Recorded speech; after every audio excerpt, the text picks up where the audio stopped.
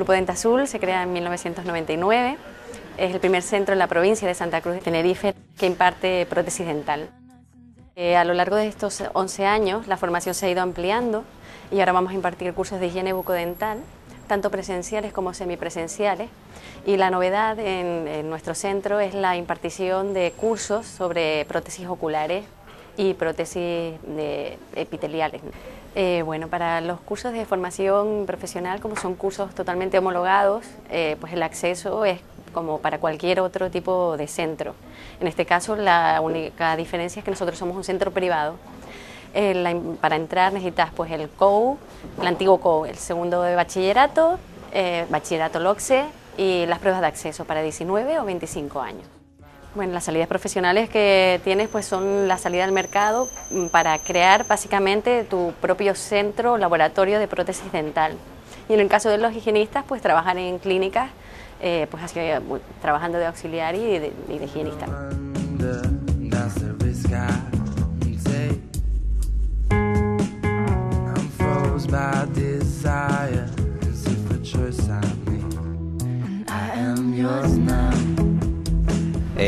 Importante decir que también eh, estamos desarrollando cursos que son pioneros en España de cursos de prótesis oculares y epítesis faciales y que la mayor demanda en este caso son profesionales de la península.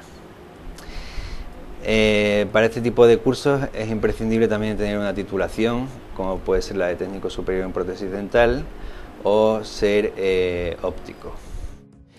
Estos cursos de prótesis oculares y prótesis oculopalpebrales, que son las que principalmente estamos llevando a cabo, eh, se están realizando eh, anualmente, son una vez por año, y se imparten tanto por especialistas de la materia como por eh, cirujanos especialistas que, que, son los que son la fase previa a la prótesis facial.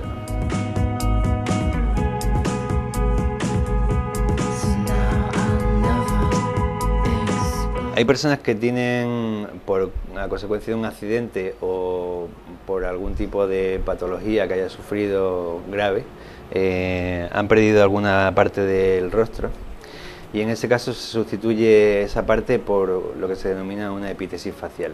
Epítesis facial es una prótesis confeccionada con, en este caso con materiales como es el hidroxivinil siloxano, que es una silicona, y eh, metilmetacrilato, que son resinas, o polimetilmetacrilato, que es el componente que lleva el metilmetacrilato también. Son dos componentes, monómero y polímero. También se utilizan resinas compuestas, eh, que son fotopolimerizables. Dentro de las epítesis podemos encontrar epítesis faciales, que son todas aquellas que van sobre el rostro eh, o el cráneo. Podemos encontrar, por ejemplo, epítesis de oreja, de nariz, óculo-palpebrales, que llevan párpado y ojo, o epítesis oculares, sencillamente. Eh, el tipo de prótesis eh, para, adherirlas a la cara, unas son mediante adhesivo y otras se realizan mediante eh, anclajes. Entre ellos hemos desarrollado uno aquí que tenemos registrado y patentado, que es único en el mundo porque no se utilizan ese tipo de anclajes y además se están utilizando por otros profesionales en el resto de España. Existen otro tipo de epítesis que no se denominan así exactamente, epítesis, son lo que se denominan somatoprótesis, que están destinadas para otra parte del cuerpo, como pueden ser las extremidades, dedos, eh, manos, etc. Dentro de lo que es la prótesis, eh, para la adherencia, de, para la sujeción de una prótesis a la cara en este caso, se venían utilizando un tipo de anclajes, se denominan ataches, eh, que no tenían las características o no, no, se conseguía la sujeción suficiente para que el paciente se encontrara seguro.